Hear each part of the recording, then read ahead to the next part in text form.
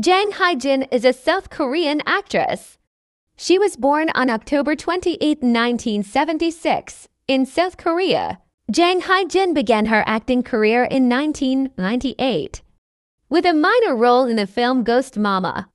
She has since appeared in numerous films and television dramas, often in supporting or character roles. Some of her notable performances include her role as the mother of the lead character in the film Mother 2009, directed by Bong Joon-ho, and her portrayal of a tough detective in the drama Signal 2016. She has also been recognized for her performances in television dramas, winning the Excellence Award at the 2016 KBS Drama Awards for her role in Oh My Jeonbye.